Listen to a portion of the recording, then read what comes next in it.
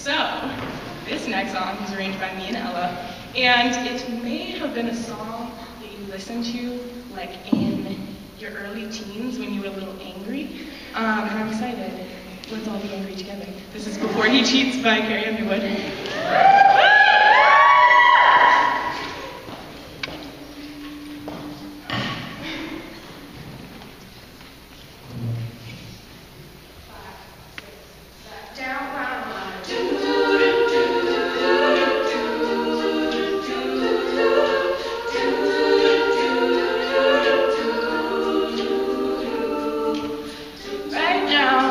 soldiers with a beach marching and